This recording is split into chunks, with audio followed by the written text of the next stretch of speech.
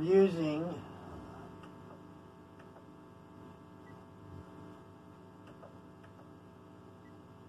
I'm using the 10 mile electric piano and choir.